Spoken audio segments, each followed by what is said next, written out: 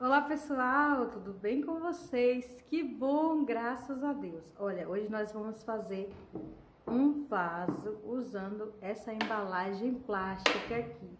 Então, se você gosta desse tipo de conteúdo, aproveita, já se inscreva no canal, deixe seu like e ative o sininho das notificações. Assim, sempre que eu postar um vídeo, você vai estar aqui acompanhando tudo. Então, vamos lá para o passo a passo.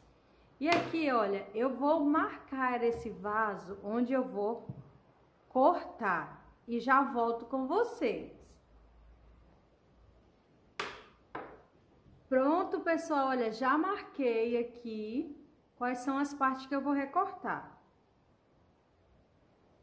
Vou recortar e volto para mostrar vocês. Já retirei aqui essa parte e também retirei essa parte aqui. Agora eu vou tirar outra parte dessa aqui também, viu? E volto com vocês. Pronto, pessoal, já retirei outra parte do vaso. Por que que eu tirei a primeira parte e agora eu tô tirando a segunda? Porque se você... A primeira parte não vai servir, a segunda parte é que vai servir. Então, você vai descartar uma. Agora aqui eu vou retirar a marcação.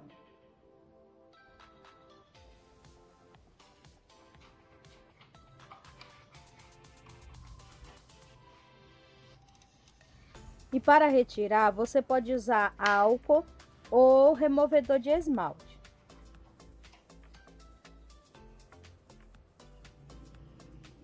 Agora aqui nós vamos pegar essa parte da garrafa e colocar aqui, ó.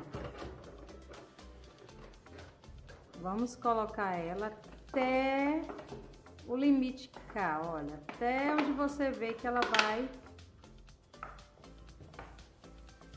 chegar. Pronto, agora aqui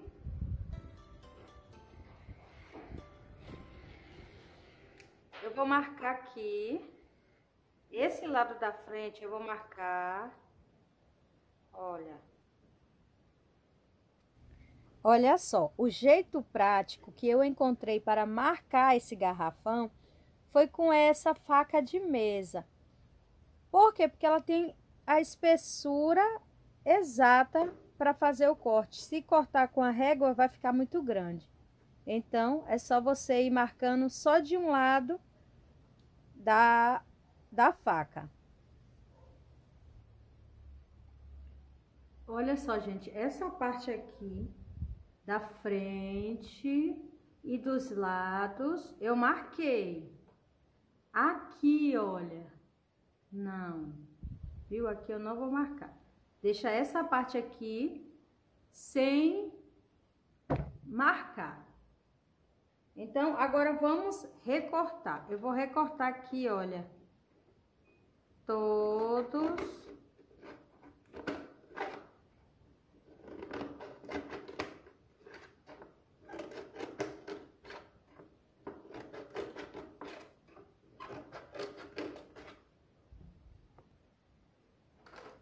Vai ficar assim, pessoal, olha.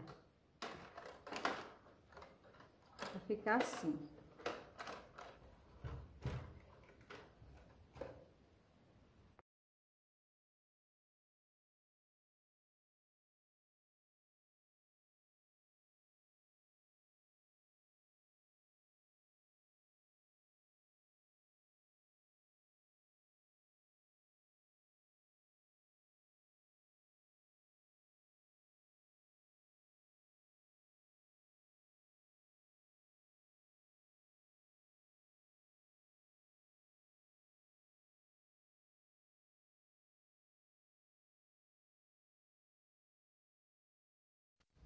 Agora nós vamos pegar cada pedaço desse que recortamos e colocar embaixo do anel que a gente colocou já nessa garrafa.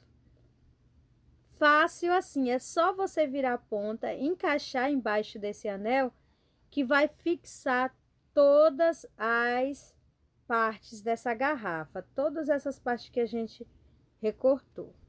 E assim você vai fixando todo os recortes desse vaso.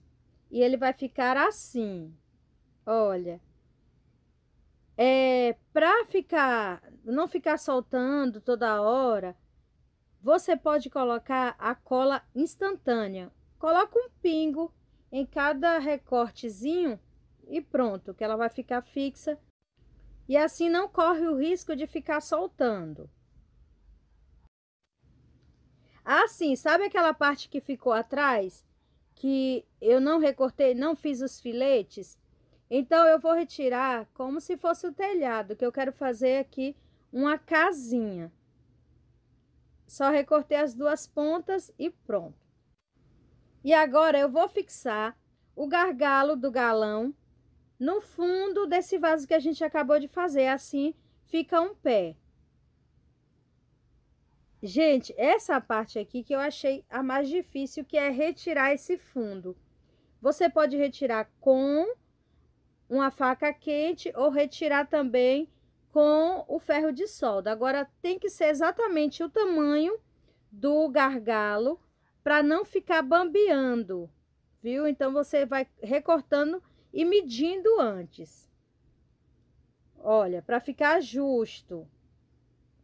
E aqui é só você fixar a tampa que dá certo.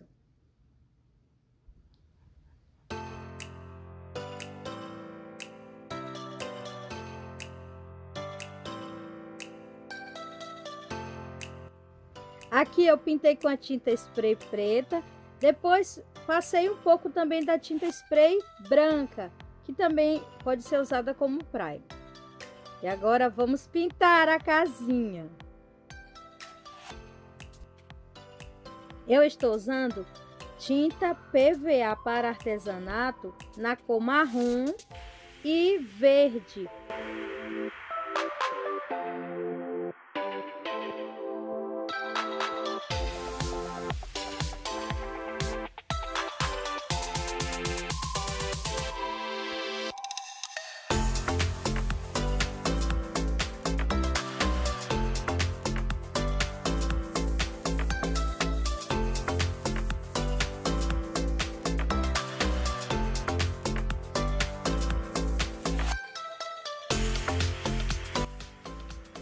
Assim, olha, quem acompanha o canal aqui é, deve lembrar é, do vaso que eu fiz com garrafa de água sanitária, aquele com várias flores de garrafa PET.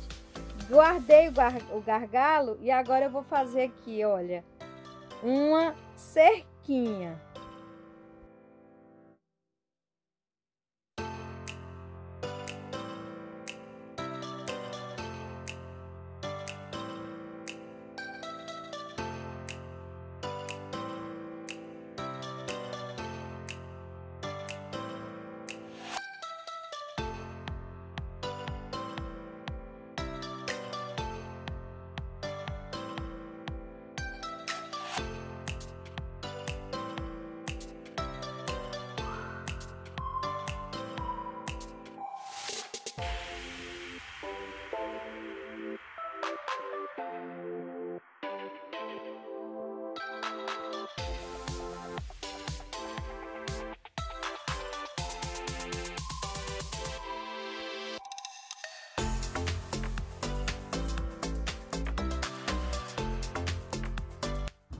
O vaso já está pronto. Agora é hora de plantar.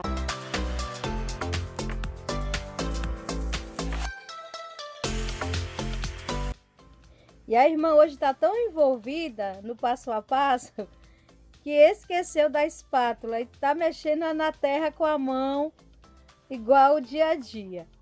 Eu estou colocando, gente, é, carvão, pedacinhos de madeira que queimou, o carvão você pode colocar aí também. Por quê? Porque assim já é o substrato para a terra também.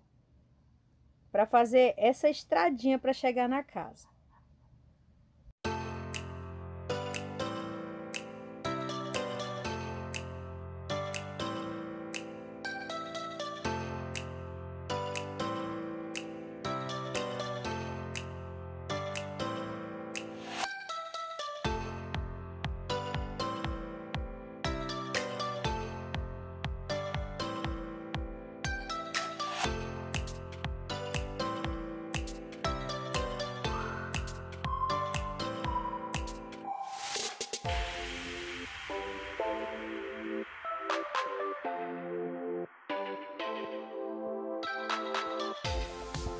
E agora, enquanto você acompanha aqui eu terminando de fazer esse mini jardim, eu quero aproveitar e deixar um versículo da palavra de Deus para você, que está escrito em Isaías, capítulo 38, e o versículo é o 2, que diz assim: Então virou Ezequias o rosto para a parede e orou ao Senhor.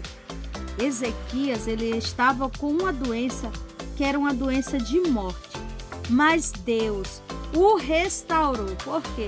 Porque ele orou e falou com Deus. Então você está passando por um momento difícil? Ore ao Senhor, converse com Ele, porque Ele sim pode ouvir a tua oração. Que Deus te abençoe grandemente, você e toda a sua família. Muito obrigada pela sua atenção. Não esqueça de deixar o seu lindo like e se inscrever no canal se você ainda não é inscrito. Tchau, tchau, pessoal. Fiquem com Deus. Um beijo e até o próximo vídeo.